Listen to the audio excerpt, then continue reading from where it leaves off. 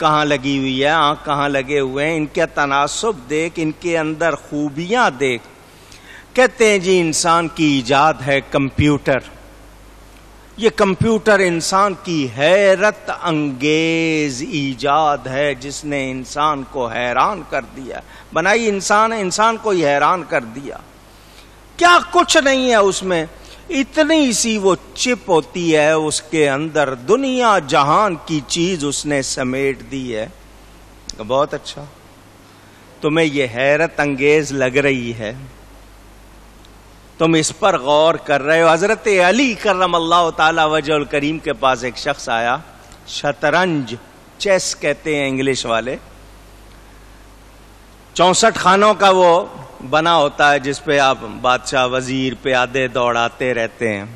खेल। लाने वाले ने कहा, हज़रत, देखिए, ये इंसान ने बनाया है, इन चौसठ खानों में दुनिया भर की चालाकी उसने जमा कर दी है। दुनिया भर की चालाकी। हज़रत अली मुस्कुराए फरमाया ये इंसान का चेहरा इससे छोटा है, अल्लाह ने इसमें क्या कुछ जमा किया है? आपका ये दिमाग, उम्मुल हवास, कितना होगा साइज़ में? छोटा सा, मगर उसमें पूरी कायनात समा जाती है। कितनी बातें याद रखते हैं, क्या कुछ इंसान अपनी आवाज़ को देखे, सारे निज़ाम को गौर करे तो उसका काम है फ़ौरन सजदे में झुक जाए और रब के लिए कहे फतबारक अल्लाह खालिकीन। बरकत वाला है मेरा अल्लाह जो सबसे बेहतर बनाने वाला। अल्लाह।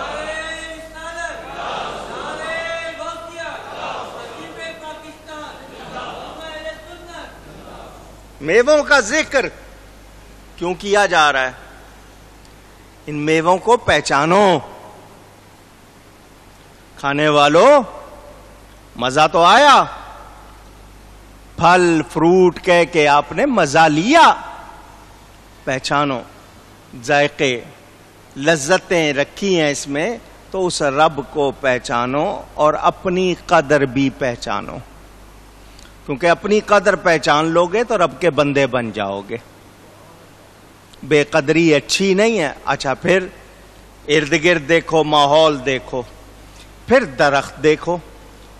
उसमें से लकड़ी भी मिल रही है। उस लकड़ी से क्या कुछ बनाते हो, वो भी गौर करो। फिर उसी में गिजा है, फिर उसी में दवा। आगे सुनो। अल्लाह फरमाता व इन्नलकुम फिल इबरा और बेशक तुम्हारे लिए चौपाओं, चार पाओ वाले जानवरों में समझने का मकाम गौर करो, जरा देखो। नुस्की कुम मिम्मा बुतूनिहा वलकुम वलकुम फीहा मनाफिउ कसीरतुं व मिनहा ताकुलून। दरख्तों की भी सुन ली, अब और सुनो, जानवर। लोग सोचते होंगे, जी, ये जानवर क्या चीज़ है? किसी को वैसे जानवर कह दूँ, कितनी तकलीफ़ होगी? अगर तुम जानवर हो तो कैसा लगेगा? बुरा लगेगा ना? ताकतवर कहूँ तो? बताइए अच्छा लगेगा? पूछ रहा हूँ, जानवर कहूँ तो बुरा लगेगा, ताकतवर कहूँ तो? ताकतवर के माने क्या? ताकत वाला। क्या माने? तो जानवर के माने जान वाला। अब बताइए, आप जान वाले हैं या नहीं हैं? ऊँची। जरा आवाज़ लगा दीजिए, मैंने मसला समझाना है। मसला समझाऊँगा, ऐसे नहीं कहलवा रहा। तो जानवर के माने क्या होंगे? जान वाला, मगर किसी को कहूँगा अच्छा लगेगा? ऊँची। क्यों उर्फ़? एन रे फे उर्फ़। आम लोगों में, आम जबान में, पहचान में जो राइज है मुआशरे में उर्फ़ कहते हैं, उर्फ़ में वो लफ्ज चार पाँव वाले के लिए है, दो पाँव वाले के लिए। ऊँची? हम इंसान हैं, उसको हैवान कहो। हमें हैवान ना कहो, हालाँकि हैवान है नातिक है इंसान बोलने वाला। हैवान जान वाले कोई कहते हैं। मगर वो लफ्ज जो माशरे में, उर्फ़ में एक खास कौम के लिए हो गया, जिन्स के लिए हो गया, वो इंसान पर बोला जाए, इंसान को अच्छा नहीं लगेगा। तो पता चल गया कि बेअदबी उर्फ़ के हवाले से होती है। तो अब जो लफ्ज माने में गुंजाइश है, मगर इंसान अपने लिए पसंद नहीं करता। नबी के लिए कैसे पसंद कर सकता है? यहाँ से वो लोग जो कहते हैं, नहीं जी, बोलना ठीक है, गुंजाइश है। मसलन, तमाम इंसान किसकी औलाद है? आदम सलाम लिखने वालों ने लिख दिया कि आदम की औलाद होने की वजह से कोई नबी को भाई कह दे तो गलत नहीं है। लिखने वालों ने लिख दिया कि नबी भी आदम की औलाद और तुम भी आदम की औलाद। तो आल आदम की औलाद होने की वजह से नबी को भाई कह दिया जाए तो गलत नहीं। ये लिखने वालों ने लिख दिया। अब जवाब सुन ले। जब तुमने कानून बना दिया कि औलाद आदम होने की वजह से नबी को भाई कह सकते हैं तो फेरौन किसकी औलाद है? पूछ रहा हूँ। नमरूद किसकी औलाद है? ऊँची। शद्दाद किसकी औलाद है? ऊँची। अबू जहल किसकी औलाद है? तो इन जिन्होंने ये फतवा लिखा है, औलाद आदम होने की वजह से इनको फेरौन का, नमरूद का, शद्दाद का, अबू जहल का भाई कहा जाए तो गलत नहीं है। कानून उनका अपना बनाया हुआ। नबी से ही क्यों भाईचारे में लगे हुए? वो भी तो आदम की औलाद है। कानून बनाते हुए सोचते नहीं हो। तो बाज मर्तबा कुछ लफ्ज ऐसे हैं जो बजाहिर लगता है कि जी हर एक पर बोल सकते हैं, लेकिन जब नबी की बात आएगी तो फिर वो बोले नहीं जाएँगे। फ़र्क होता है। आप अपने लिए जो लफ्ज कहोगे, बाप के लिए नहीं कहोगे, पीर के लिए, उस्ताद के लिए नहीं कहोगे, फ़र्क होता है।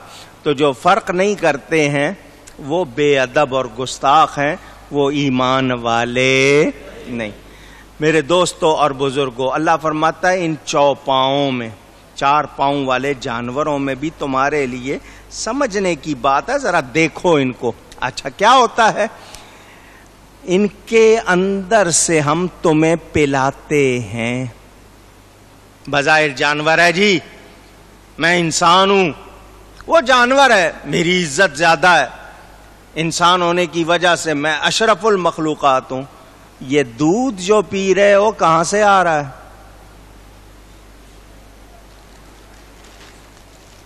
है? दूध जो पीते हो, कहाँ से आ रहा है? जानवरों के पेट से। और पेट में भी किस जगह? खून और गोबर के दरमियान से। मिम्बई फरसिम व दमिल लबन खालिसन साइगल शाबिर शारेबीन खून और गोबर एक तरफ़ गोबर है दूसरी तरफ़ दरमियान से अल्लाह दूध निकाल रहा ये वहाँ भिजवा दो भाई मजार पर दरमियान से अल्लाह ताला क्या निकाल रहा है ऊँची दूध निकाल रहा है उस दूध में कितनी लज्जत है, कितनी गजाइत है, कितनी बरकत है, अंदाज़ा नहीं है आपको। तो जानवरों से पिलाया जा रहा है। ये जानवर अल्लाह ने तुम्हारे लिए बनाए हैं। देखो, तुम सर उठा के चलते हो ना, तुम अपने आप को ज़्यादा इज़्ज़त वाला समझते हो, जरा सोचो, ये जानवर हैं, इनके पेट से तुम्हें पिलाते हैं। और तुम्हारे लिए इनमें बहुत से फ़ायदे, इनसे कितने काम लेते हो? ये किस किस काम आते हैं? तुम्हारे तरह तरह की चीज़ें इनसे तुम्हें हासिल होती हैं। ऊन इनसे मिलती है, खाल इनसे मिलती है। ये चमड़े के जूते पहने हुए हो तरह तरह की चीज़ें। ये चमड़ा आ कहाँ से रहा है? इन जानवरों की खालों से। जूते पहनते हो, कहाँ से बन रहा है? हैं? और फिर इनकी खाल से और कितने काम लेते हो? ए इंसान, ये जरा सुनो, इन्हीं जानवरों को खाते भी हो। इनमें से जो हलाल हैं वो जो तुम्हें खिलाया भी इन्हीं से जाता है, इन्हीं जी कबाब चाहिए, जी टिक्के चाहिए, जी। जी रोस्ट चाहिए, जी ब्रोस्ट चाहिए, कितने नाम रखे हुए हैं, ये सब इन्हीं से ही मिल रहे हैं। इंसान, जरा पहचान। हलाल जानवर से तुझे कितना कुछ मिल रहा है खाने को, कितना और कुछ। जायकों के नाम पर रेस्टोरेंट्स में जाकर कितने बड़े बड़े बिल देकर जनाब खाने खाते हो कि जी, वो फलाने का तरीका बनाने का यूँ है यूँ है। आ तीन, साढ़े तीन इंच, चार इंच की जबान है, पाँच इंच की होगी। उससे नीचे उतरा तो कोई जायका रहता है? पूछ रहा हूँ, मगर उसके लिए कितने तुम इंतज़ाम करते हो? ये किसने बनाया है? ये जानवर तुम्हारे लिए जो बनाए, परिंदे बनाए, सबसे अच्छा गोश्त परिंदों का होता है। तो ये परिंदों के गोश्त खाते हो, शिकार करते हो, ये सब कुछ खा रहे हो, ये क्यों गौर नहीं करते हैं? मट्टी से बनने वाले इंसान, ये सब तेरे लिए है। खुश्क भूसा, जो घास सूख जाए या आप उसको काट लेते हैं, वो खिलाते हैं आप जानवर को। उसके पेट में पहुंचकर दूध निकलता है। ये उस भूसे को, उस घास को दूध कौन बना देता है? और किया वही चारा कोई और जानवर खाए तो दूध बनेगा। पूछ रहा हूँ। तो जिन जानवरों का दूध पीते हो जो हलाल है, कभी सोचा, ये इतना इंतज़ाम, अब आप दूध में सोडा मिलाएँ, अब आप गाय भैंस को इंजेक्शन लगाएँ कि जी दूध ज़्यादा निकले, वो बीमारियाँ आप फैलाएँ, जो पानी मिलाना है, गंद मिलाना है, वो आपका मसला रब ने जो दिया है, उसकी बात कर रहा हूँ। ये किसकी कुदरत है? ऊँची मोहब्बत से कहिए, अल्लाह ताला की कुदरत है तो उस रब का शुक्र करना चाहिए या नहीं करना चाहिए? ये चीज़ें बताई जा रही हैं। दुनिया में तमाम दुनियावी ताकतें जमा हो जाएँ, जितनी हैं। उनको कहा जाए कि जैसा रब ने बनाया है, वैसा बना दो, बना सकते हैं। ऊँची नहीं। बाल बनाए उन्होंने। विग लगा लेते थे पहले जो लोग, जिनके बाल झड़ जाते थे, गंज आ जाता था। विग बना दी वो। क्या वो कुदरती बालों का था मामला? उसमें कोई ऊँची नहीं। आजा बनाए हड्डियाँ बनाई दांत बनाए। क्या कुदरती काम जैसा करते हैं वो? उन, उनके बनाए हुओं में वो खूबी थी? मसनू चीज़ में वो खूबी थी? नहीं। अल्लाह ने जो कुछ बनाया नेमत है। और जो कुछ उसमें है किसी और चीज़ में नहीं। तो बेकदरी करने वालों को जरा एहसास करना चाहिए कि हम ज़मीन पर रहकर कितने मज़े कर रहे हैं।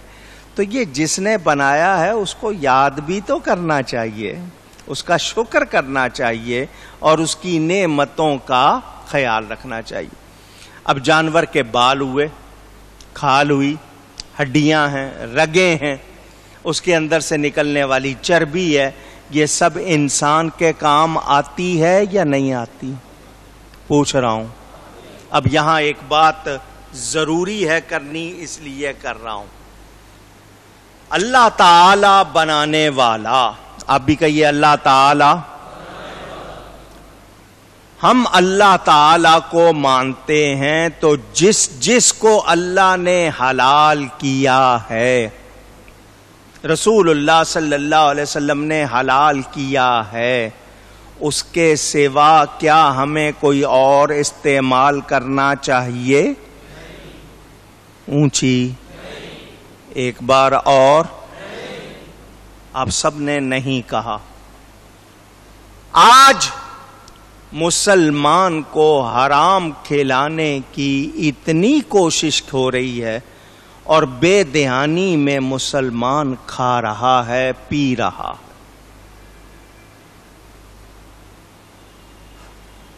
हमारे यहाँ कानून नहीं है।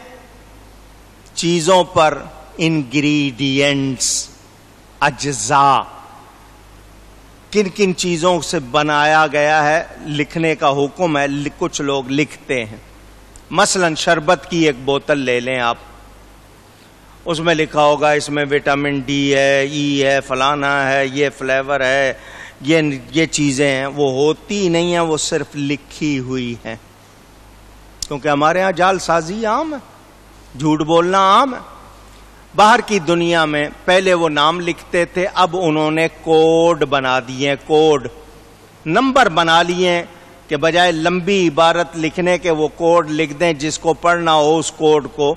तफसील में जाके देख ले। डिक्शनरियाँ हैं, उनमें लिखा हुआ है कि इस कोड का क्या मतलब? सुअर, खिंजीर, पिग, पोर्क, ये सब उसी के नाम है। अब एनिमल फैट लिखा हुआ है चीज़ के ऊपर, जो भी आपके बनाया गया, उस पर क्या लिखा है? जानवरों की चर्बी।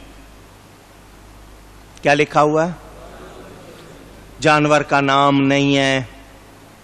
एनिमल फैट कौन से एनिमल किस जानवर की चर्बी है, नहीं लिखा हुआ, मुसलमान खा रहा टॉफियाँ, चॉकलेट्स, कैडबरी की हो या किसी और की हो। रोज आप उठाएँ, इंटरनेट को देखें, दूसरी जितनी चीज़ें, छप रहा है किस किसमें क्या क्या हराम चीज़ें डाली जा रही हैं और मुसलमानों को खिलाई जा रही कोल्ड ड्रिंक्स, ये जितनी बेवरेजेस कंपनियाँ हैं। मशरूबात पीने की आदत है, हम कुदरत का बनाया हुआ पानी, कुदरत के बनाए हुए फलों का ताज़ा जूस पीने की बजाय, बोतलों के हैं। जी, ठंडा पिलाओ जी। ये सेवन अप है, फलाना है डिमकाना, ये नाम रखे हुए हैं, पीते हैं। इनमें से कौन कौन किससे बन रही है हमें पता ही नहीं। पिए जा रहे इस मुल्क में तो पानी भी आपको खरीद के पीना पड़ता है। ये साजिश है। इसको कोई अच्छी बात ना समझो। ये साजिश की गई है आपके साथ। मगर ये नौबत जो आई तो क्यों आई? हमारी गफलत की वजह से। जब तक हम होशियार थे, कोई हमसे खेल नहीं सका। हम गाफिल हुए, उन्होंने कहा, इनसे खेलो। वो खेल रहे हैं, और हम पूरी तरह उनका साथ दे रहे हैं। क्या हम समझदार हैं? वो रब जो हमारा राजिक है, जो छोटे से बारीक सुराख में बैठे हुए कीड़े को भी रिस्क पहुंचाता है। उसका वादा है, वो हमें रिस्क देगा, उसके लिए हमें जायज़ तरीके बताए, सही तरीके बताए, मगर हम गलत चीज़ों को अपना रहे हैं। ये इतनी नेमतों का बयान उनको छोड़कर गलत चीज़ें खा पी रहे हैं तो क्या नतीजा अच्छा आएगा? ऊँची। जैसा खाओगे, वैसा असर होगा। और वो खिलाया जा रहा है इस मुसलमान को और वो खा रहा है। किस किस तरीके, अब मिठाई देख लें, कितनी अच्छी चीज़ है। जाते हैं पहले, एक जमाने में छह सात रुपए किलो मिल जाती थी। ढाई तीन रुपए, चार रुपए किलो मिलती थी, फिर सात रुपए हो गई, दस रुपए हो गई, आज पाँच पाँच सौ रुपए किलो, हज़ार रुपए किलो मिठाई के हैं। बड़े शौक से लेते हैं। किससे बन रही है? वो उसमें क्या मिला रहा है? खोए के नाम पर क्या दे रहा है? नहीं खबर। अजी, वो भी तो मुसलमान है ना, क्या फराड करेंगे? अगर कर रहे हैं तो जी, वो जाने, उनका रब जाने, हम तो खा रहे हैं। तो जा तो तुम्हारे पेट में रहा है ना। ये जो आप शिकायतें करते हो, मौलाना साहब, वजीफा पढ़ते हैं, असर नहीं होता, दुआ करते हैं, कोई बरकत नहीं होती है तो क्यों नहीं होती है? गजा को देखो। होशमंद रहो। ये यहूदी दुनिया में जितने भी हैं, अपने बच्चों को ये टॉफियाँ नहीं खाने देते छोटी उम्र में। इससे रगें कमज़ोर हो जाएँगी। इन बच्चों को सही वो गजा नहीं मिलेगी कुत नहीं मिलेगी, और चूँकि सही गजा नहीं मिलेगी, सोच दुरुस्त नहीं रहेगी। गजा का कितना असर होता है सोच पे। ये आपके हड्डियों में जो गूदा है ना, यहाँ से इसकी ताकत आपकी सोच में लगती है। क्या इंसान के अंदर निज़ाम है? वो अपने बच्चों को काबू रखते हैं। हमारे यहाँ ये फ़ौरन इब्तदाई इससे होती है, बच्चे को कोल्ड ड्रिंक्स पे लगा दिया जाता है, वो पानी पीता ही नहीं। उसको कोई और चीज़ पसंद नहीं है, बस टॉफियाँ देते जाओ, स्वीट्स देते जाओ, वो खा रहे इन स्वीट्स के रंग रंग सारे जितने अभी तक आपके यहाँ फ़ूड कलर नहीं बना। ये जो रंग होते हैं जिससे आपको रंग बरंगी चीज़ें मिलती, सारे जहर, जर्दा, चावल जिसमें पीला रंग डालते हो जहर है। हालाँकि जर्दे का मतलब था जाफरान से रंग बनाया जाता था, उसकी वजह से थोड़ी सी पीलाहट आ जाती थी। अब आप बकायदा रंग डालते हो, ये रंग खालिश जहर है और आप खाते हो। तो जैसा खाएँगे, वैसे असरात होंगे या नहीं होंगे? ऊँची। हमें नहीं पता, ना हलाल की तमीज, ना हराम की तमीज, ना जायज़ की तमीज, ना कोई और बात। तो फिर रिज़ल्ट चाहते हैं कि नहीं, सारे हम ऐसे हो जाएँ, हमें यहाँ बैठे बैठे अर्श नज़र आए, यहाँ बैठे हो तो काबा नज़र आए तो फिर काम भी वैसे करो, गजा भी वैसी रखो। अल्लाह वाले सूखे टुकड़े खाते थे। कौन से टुकड़े? ऊँची। ये नहीं कि उनको